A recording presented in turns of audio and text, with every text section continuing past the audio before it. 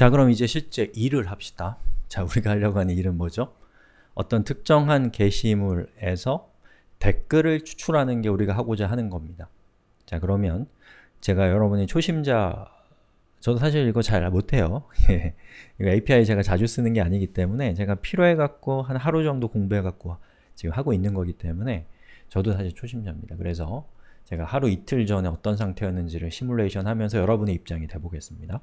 그럼 이제 고민이 되는 거죠. 아 이제 로그인은 내가 했는데 그 다음에 뭘 해야 되지? 이런 생각이 드실 겁니다. 자 그럼 로그인 한 다음에 여기에 보시면 문서라고 되어 있는 거 한번 클릭해 보시면 이 페이스북에서 제공하는 공식 문서들이 여기에 나와 있습니다.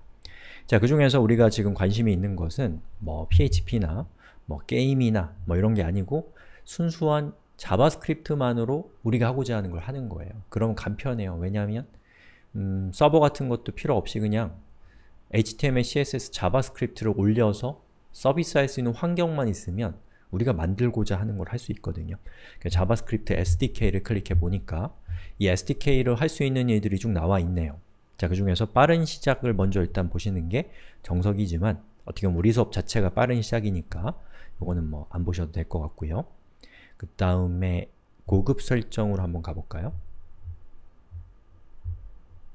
아니야, 빠른 시작 한번 가봅시다. 빠른 시작을 쭉 읽어보시면 음, 기본 설정 방금 우리가 했던 거고요. 예제 한번 가볼까요? 예제로 가보니까 뭐 공유 상자 공유 대화 상자를 실행시키는 방법 이걸 누르면 공유할 수 있나 봐요. 예. 그리고 페이스북 로그인 기능 방금 우리가 한 거고요. 그래프 API 호출 이것이 바로 우리가 원하는 겁니다. 초심자분들은 좀 어려우셨을 거예요. 여기까지 오시는 게. 자, 그래프라고 하는 거는 여러분들 알고 있는 그 뭐죠? 그 그래프 있잖아요. 도표 같은 거. 그것도 그래프지만 예.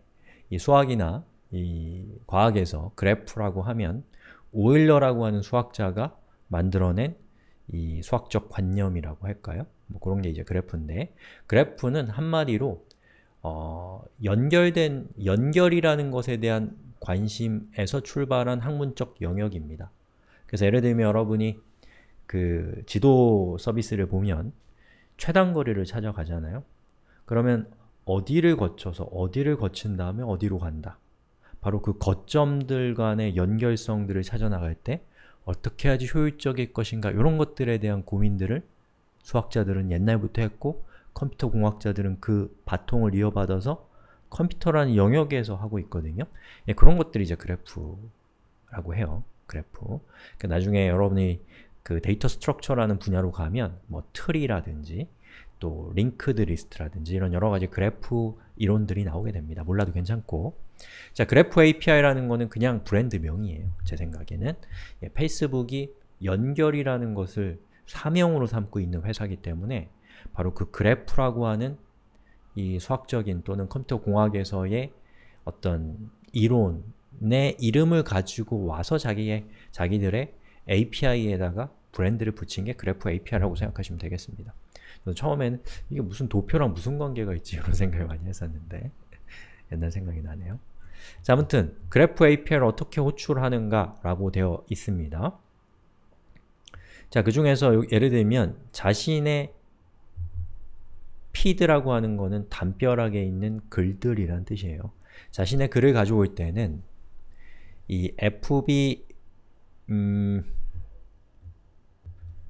로그인이라고 하는 요 함수는 음, 페이스북에서 로그인을 요청하는 함수인데 그 로그인이 끝난 다음에 얘를 실행한다 이런 뜻입니다. 근데 우리 이미 로그인이 되어 있는 상태이기 때문에 일단 저거 그냥 그대로 카피해서 여기로 가져와 볼게요.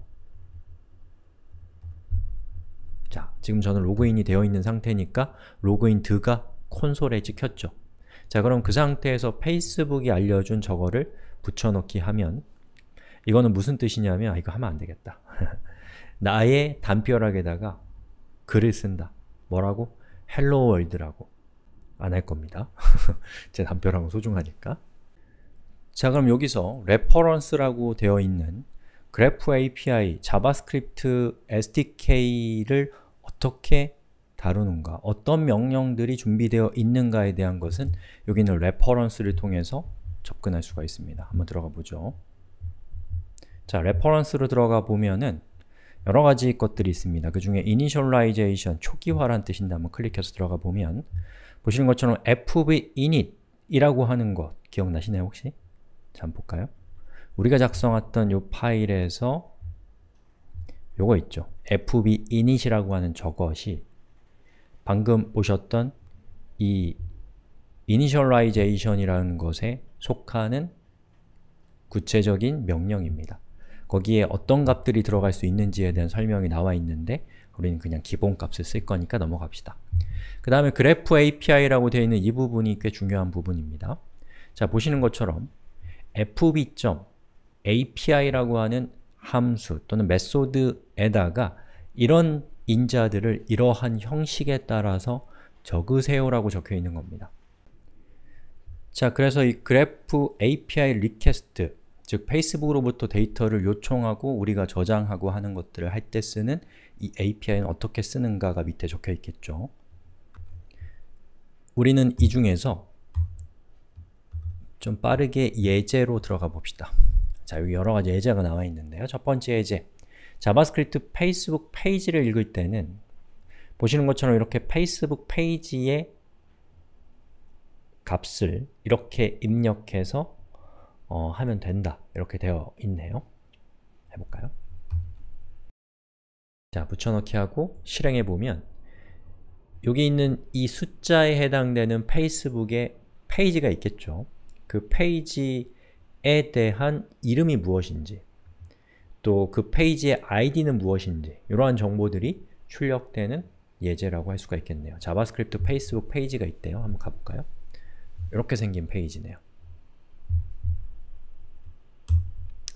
자, 그 다음에 지금 페이스북에 로그인한 사용자 개발자가 아니라 페이스북 로그인 버튼을 누른 어떤 사용자가 있겠죠.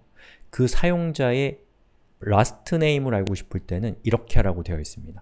자, 그럼 한번 클릭해서 실행을 시켜볼까요? 이렇게 했더니 리라고 되어 있네요. 그쵸? 그럼 여러분이 이걸 활용해서 이런 걸 할 수가 있겠죠. 자, field last name 있으면 first name 뭐야? first name은 going이겠네요. 그쵸? 그러면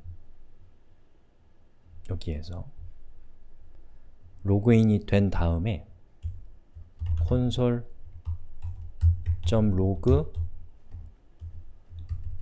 가 아니고 여기에다가 방금 그 코드를 붙여넣기 하는 거예요. 이렇게 name은 fields에다가 last name, first name 이렇게 하면 되지 않을까요? 실행하고 확인해 볼까요? 자, reload 했을 때 보시는 것처럼 리와 고잉이 뜨네요.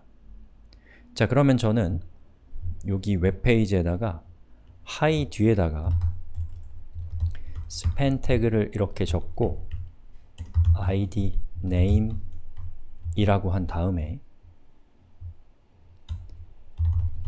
document get query selector 그리고 id 값이 뭐였어요? name inner html로 response의 last name 플러스 response의 first name 이렇게 하고 실행해 보면 자 보시는 것처럼 hi egoing이 뜨네요. 조금 더 그럴듯하게 하려면 앞에다가 콤마를 붙이면 좀 더 보기가 좋겠네요. 자 이렇게 hi egoing 이렇게 뜨고 뭐 원한다면 여기 있는 페이스북 그 로그인 버튼을 없애버리는 것도 좋은 방법이겠죠. 이런 식으로 사용할 수 있다는 겁니다. 됐죠? 그렇게 여러분이 예제를 보면서 이 형식이 무엇인가에 대한 연구를 오랜 시간에 걸쳐서 하셔야 돼요. 이게 금방 이해되는 게 아니, 아니거든요. 그래서 초심자분들은 시간이 좀 많이 무언가를 이해하는데 시간이 많이 걸리면 초조해져요. 근데 그러실 필요 없습니다. 원래 그래요. 원래 시간이 많이 걸립니다. 이렇게 강의하는 입장에서는 연습도 많이 했고 여러 가지 선행 경험들이 많기 때문에 이게 빨리 되는 것 뿐입니다. 예, 실제로는 이 중급자들도 오랜 시간 동안 사투를 벌이면서 하는 거니까 충분한 시간을 확보하고 공부에 임하셨으면 좋겠습니다. 자 그럼 여기에 이렇게 되어 있어요. 음, 그리고 여기 있는 것들은 다 그 페이스북이 제공하는 기능들인데 여기까지 했으면 이제 여러분이 뭘로 들어가야 되냐면 그래프 API 자체로 들어갈 필요가 있습니다. 자 이게 좀 헷갈리는데 그래프 API라는 것 자체는 그 RESTful 방식으로 이루어지는 언어와는 상관없는 중립적인 기술이에요. 예, 웹 기술을 통해서 데이터를 주고받는 방식입니다. 그것을 자바스크립트를 코딩하는 사람들이 편하게 쓸 수 있도록 제공하는 자바스크립트 일종의 페이스북이 만들어준 라이브러리를 자바스크립트 SDK라고 하고 PHP 개발자를 편하게 그 그래프 API를 사용할 수 있도록 제공해주는 걸 PHP SDK라고 하는 거예요. 또는 Unity SDK 또는 Android SDK라고 하는 겁니다. 아시겠죠? 그래서 여기 있는 그래프 API라는 것은 어떤 언어와는 상관없이 어, 페이스북이 가지고 있는 가장 밑바닥에 있는 가장 근원적인 기술이 그래프 API입니다. 자 그럼 그래프 API에 와서 여러분이 필요한 거는 레퍼런스를 한번 찾아봐야 됩니다. 레퍼런스를 쭉 보면은 페이스북에 있는 어마어마하게 많은 여러가지 형태의 데이터들이 있습니다. 꽤 긴 시간을 들여서 자기가 필요한 걸 찾아내셔야 됩니다. 자 그럼 우리 시간이 좀 많이 됐으니까 여기서 한번 끊고 다음 시간에 우리가 필요한 정보를 찾아서 실제로 출력해 보는 것까지 한번 해봅시다.